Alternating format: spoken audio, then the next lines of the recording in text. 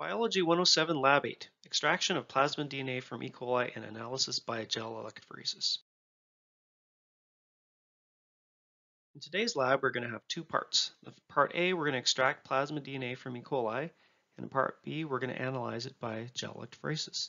This DNA we're extracting today is also going to be used in next week in Lab 9, where we're going to transform E. coli cells.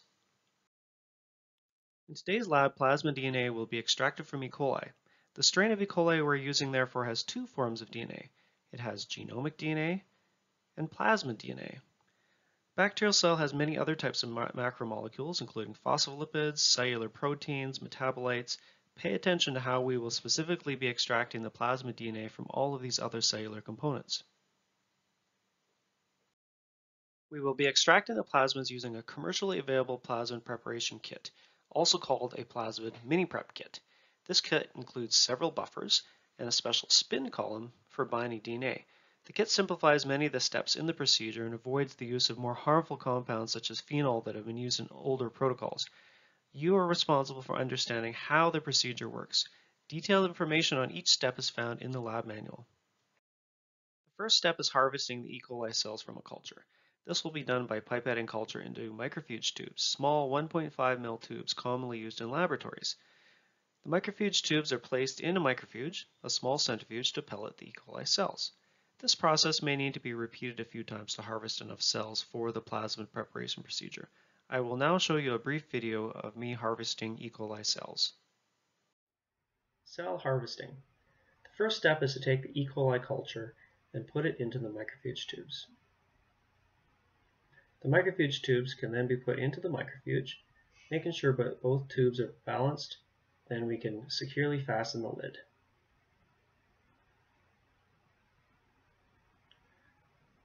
Close the door and spin the tubes for 15,000 RPMs for one minute. Once the minute is done, we can take off the lid and take a look at our cell pellet.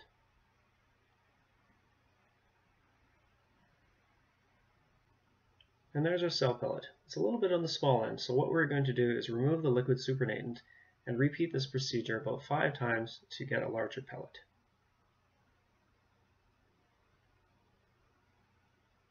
There's a much larger cell pellet, which is perfect for doing our plasmid extraction. cells are harvested, we are going to remove the liquid supernatant and use the solutions in the kit to extract the plasmid DNA. The cells are first resuspended in solution PD1. This is an isotonic solution used to resuspend the bacterial cells. It also contains an RNase that will digest any RNA present. Next, PD2 buffer is added. This contains two main ingredients. The first is a strong detergent called sodium dodecyl sulfate. This detergent denatures proteins and disrupts the plasma membrane, causing the cells to lyse and their contents to spill out. The second ingredient in PD2 is sodium hydroxide. The sodium hydroxide will denature the DNA. This means that the hydrogen bonds between the base pairs will break and the two backbones of the DNA helix will separate. Due to supercoiling, the DNA strands of the plasmids will not separate significantly. Afterwards, PD3 buffer is added. This buffer is an acidic solution that neutralizes the pH of the solution. This causes the hydrogen bonds in the genomic DNA to reform, which causes random base pairing, and the genomic DNA will create a tangled, insoluble mass that will precipitate out of solution. You can see the precipitate there is kind of a white color in my diagram. Many proteins and other cell debris will also precipitate out of solution here. At this point, we will centrifuge the sample to remove all the precipitated proteins and genomic DNA will end up in the pellet at the bottom of the tube. The supernatant from this step will now contain your plasmid DNA and various other small molecules and metabolites. This supernatant will be added to a PD spin column. The PD spin column contains a special glass fiber matrix that binds plasmid DNA under high salt conditions. There goes the supernatant. When centrifuged, the plasmid DNA will bind to the glass fiber and all other aqueous contaminants will pass through effectively isolating the plasmid. At, that, at this step, uh, an ethanol wash is done to remove any salts and any other soluble contaminants present from the buffers used in the previous steps. Lastly, an elution buffer will be used. The elution buffer has an alkaline pH of 8.5, which allows the DNA to detach from the glass matrix and be collected in the microfuge tube for storage. We will now watch a brief video of the procedure. I also have a longer video uh, of this procedure that explains all the steps in much more detail. I will link it here in this video now. This is a very brief overview of the plasmid preparation procedure. The first step after harvesting the cells is to add the PD-1 resuspension buffer. This buffer is used to resuspend the cell pellet and also contains an RNase, which will digest any RNA that happens to be present. The next step is to add the PD2 buffer. The PD2 buffer has a detergent which will dissolve away the membrane, spilling out the cell contents. It also has sodium hydroxide which will break hydrogen bonds in DNA. This particularly affects the genomic DNA.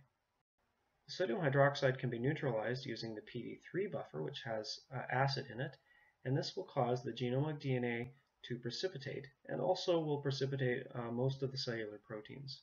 The plasmid DNA is safe from this precipitation procedure because it is supercoiled and therefore protected from the whole uh, denaturing process. There is our precipitate after centrifugation. This stage we need the uh, liquid, the lysate from that step, and we're going to add it to the PD spin column. The PD spin column has a special glass filter in it that will capture the plasmid DNA once that goes through the centrifuge. There's the liquid, we can discard that, and we're going to keep the PD spin column with the plasmid on it. After that, this goes through a quick washing step. The wash buffer is mostly just ethanol.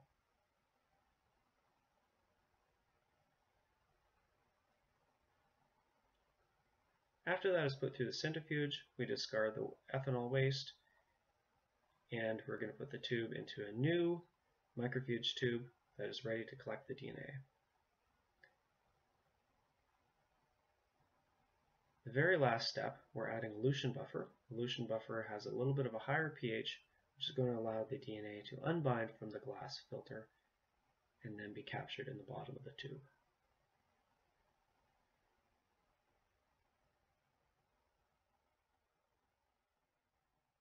There is our plasmid.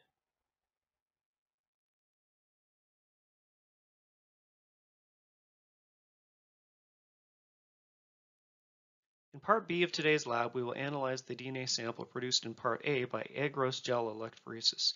Gel electrophoresis is a commonly used method worldwide for separating DNA, RNA, and proteins. Here is a photo of an agarose gel. An agarose gel electrophoresis uses agarose, a carbohydrate from seaweed, as a gelling agent to make a gel-like matrix. Notice the gel here has little wells or slots for the DNA samples. Here is a diagram of an electrophoresis apparatus. There's our gel in the middle. There's our sample wells. The gel itself is immersed into a buffer solution. This is a salt solution capable of conducting an electrical current. So this apparatus is connected to a power source and the power source will provide an electrical field that will go through the gel over about an hour of time. So DNA, there's a diagram of DNA there. DNA is negatively charged overall because of all those phosphate groups that are found on the backbone. So once we apply the electrical field, the DNA is going to travel from the uh, sample wells, which are near the negatively charged cathode, towards the positively charged anode. So here's a photo of the electrophoresis apparatus we have in the biology lab at Keyano College. As mentioned before, when the electrical current is turned on, the DNA is repulsed from the cathode and attracted to the anode, causing it to migrate through the agarose gel. The agarose gel impedes the movement of the DNA. Small fragments of DNA are impeded less than larger fragments and therefore move through the gel more quickly. The gel also contains a chemical called ethidium bromide, which allows us to see the uh, DNA under UV light. Let's watch a video of the gel electrophoresis process. Here's my gel, so I'm going to load it now. So what I'm going to do is get uh, 10 microliters of the molecular weight marker. So if you take a look, it has a bit of a dye in there, and the dye is going to help us to uh, watch it while it runs during the electrophoresis process. So I want to be very careful because this has ethidium bromide in it, which is a known carcinogen. So what I want to do is basically get my sample into those wells right there. Okay, so I got to be very careful. I want to deliver it to the well, but not uh, necessarily puncture the agarose. So usually what I do is just to give myself a steady hand as I hold my hand, and then I'm going to basically stick it into the buffer and very carefully inject it into the well. So there it is. There's the molecular weight marker. Next, I'm going to load my sample.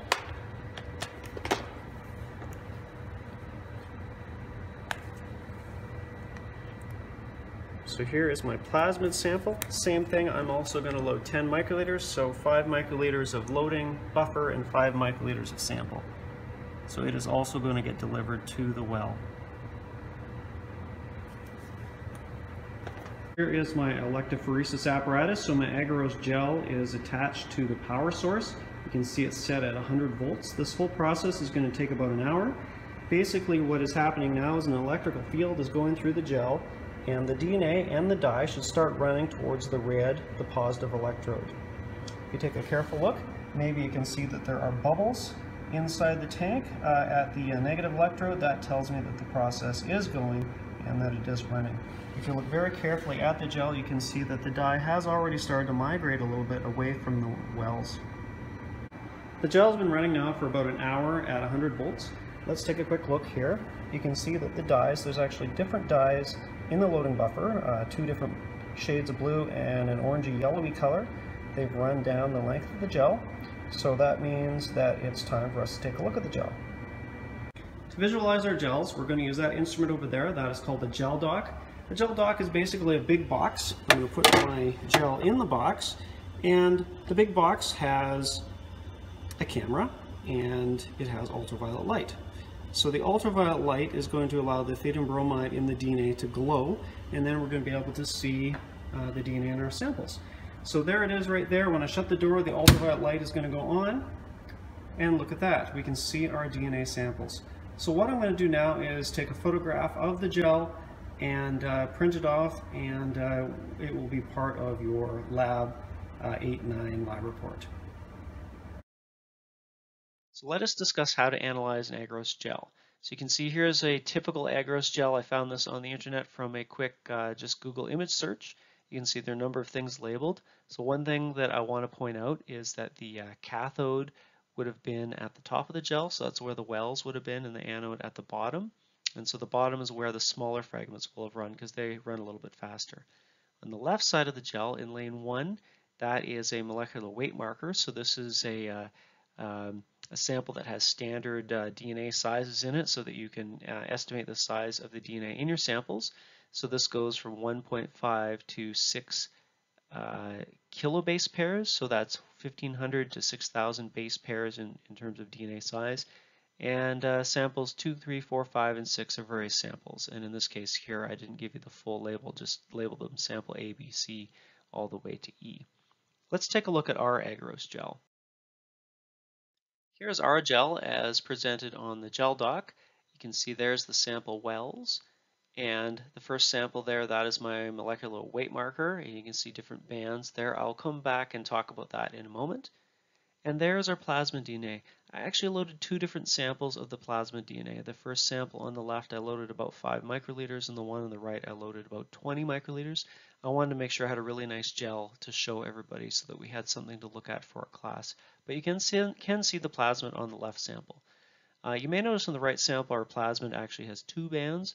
So what is happening there is that the band on the bottom is probably the supercoiled DNA and the band on the top is linearized DNA. So sometimes in the plasmid preparation procedure, uh, the DNA uh, breaks a little bit, and so we get it linearized, and so it runs a little bit more slowly than, this, than the uh, really compact supercoiled DNA.